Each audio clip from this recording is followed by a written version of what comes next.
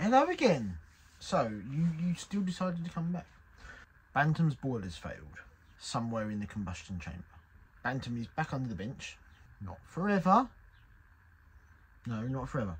Certainly until she's running again. And we've had a look and sorted out the B1. On to Polly. Let's go closer.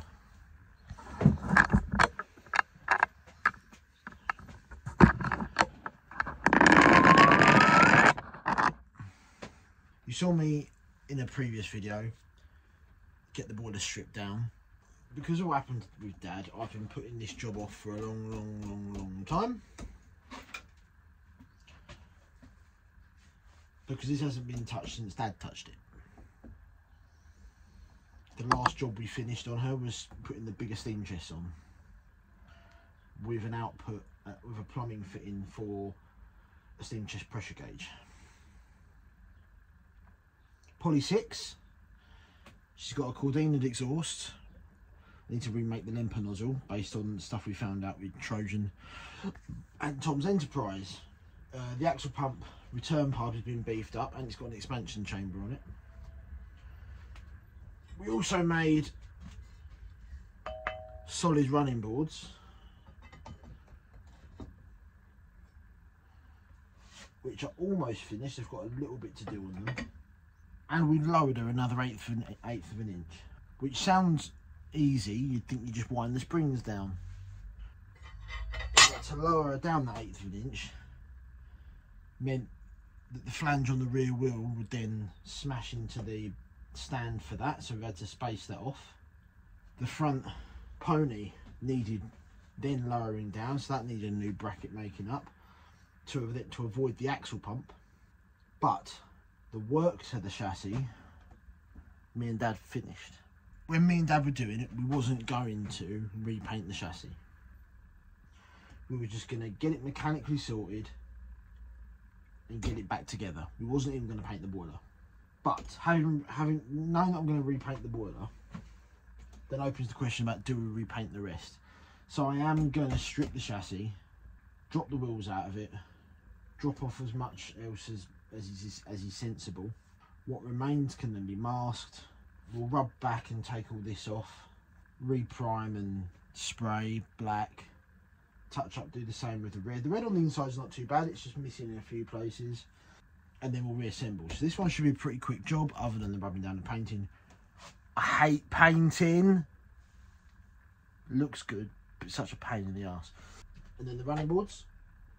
I probably should repaint them because they've cracked a little bit. The varnish is, the lack is cracked. But I'm going to see how well that cleans up before I go stupid doing anything to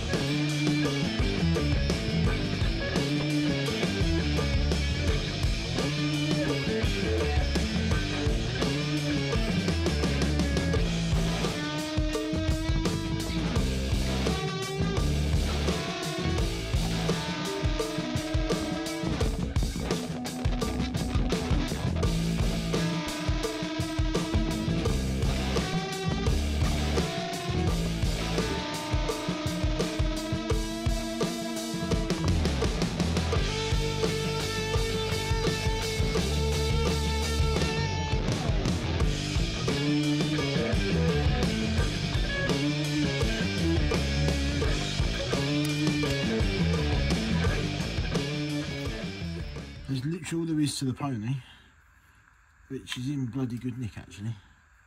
So I think that can just go back on. You'll notice a lot of stuff happened off camera, I just needed the headspace.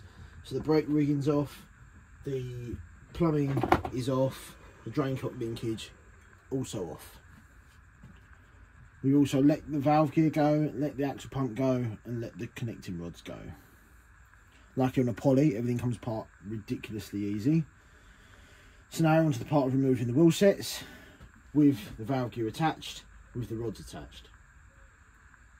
So what that involves is taking the six keep plates off, two bolts each, Then we'll put her back up the right way on her wheels on the bench once I've cleared a bit of space from where I've been working. And then we'll wind the adjusting studs off the top.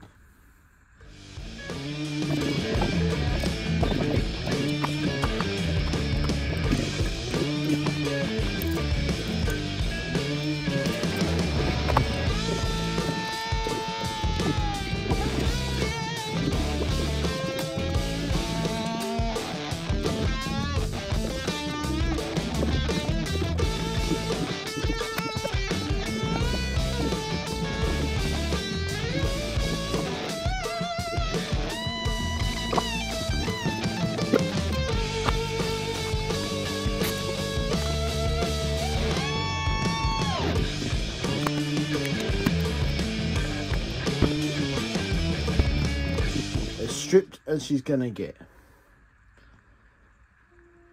After a quick trip to the park for a quick degrease and blast down, this is where we are as a starting point. This is as low as we're gonna get with Polly. Everything you see will either be masked up and painted or masked up and left alone, depending on its state. Okay, is at this point we will stop it there for today. I will not show you the painting, as I previously said. Join me next time when we start reassembling. Reassembly is almost a straightforward job. Like I said, the running boards need finishing off, which means drilling and tapping some holes in them for the lubricator and the and the remaining running board and valances. But then it should be a pretty straightforward reassembly job with the boiler.